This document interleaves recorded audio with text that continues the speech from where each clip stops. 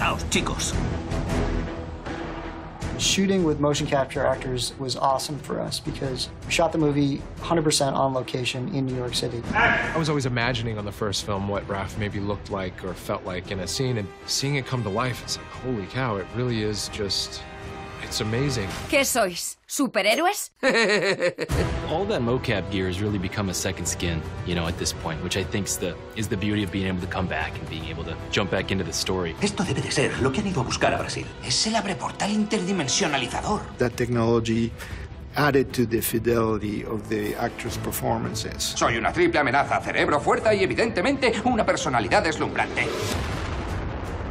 It's one thing to kind of see pictures of the turtles. It's a completely different experience to watch your performance, your facial movements, all, all of this stuff because it's so detailed.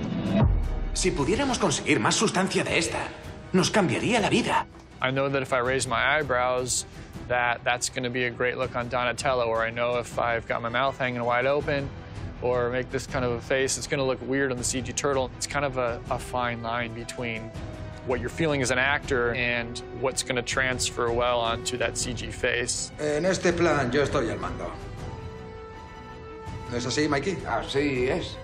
I stopped seeing the mocap suits like two days into the first movie because their personalities shine through so strongly that I I don't see like the weird cameras on their head. Our performances have to hold up next to those live actors. So when April or Casey Jones are, are standing there talking, our turtles have to feel as real and as alive. Sí, sí, sí, sí. ¿No va un poquito rápido? Ah.